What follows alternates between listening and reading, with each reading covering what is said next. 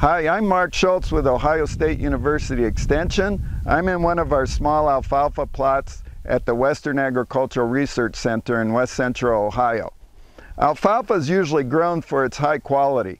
Unfortunately, most of the time we're harvesting without any information at all about the chemical composition of this crop. We can get a reasonable estimate of the neutral detergent fiber content, or NDF, of alfalfa based on its height and stage. I'll demonstrate that right here now.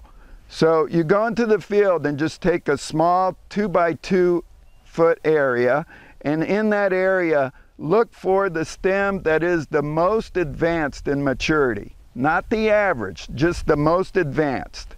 And the second thing you want to look for is for the longest stem in that area. Not the average again, but just the longest. So for example, in this area in front of me, there are several stems that have flowers. So they're open flowers. This would be flower stage then. If there were no flowers but it had buds, it'd be bud stage, otherwise just vegetative. So you're just looking to see whether it's vegetative, bud, or flower. Here we're in the flower stage. The next thing is to see what is the longest stem in inches.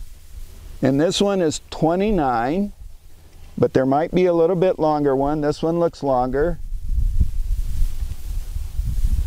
And that is about 31 inches tall. So from those two, the flower stage and 31 inches long, on this chart you can see that equates to 41.7% NDF. It's as simple as that. You would want to repeat this in several areas of the field to get a good average for that field. That information of the average NDF in the field along with the weather outlook could help provide some useful information for harvest timing decisions at different fields. I'm Mark Sulc with Ohio State University Extension. Thank you very much for listening.